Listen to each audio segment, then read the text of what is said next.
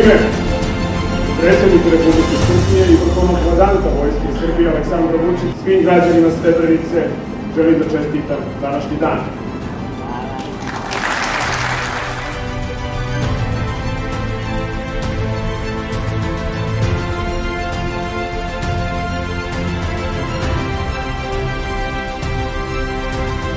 Dođemo do ovog našeg dana, dana opštine Srebrenica kada obilježavamo i otvaranje ovog pogleda.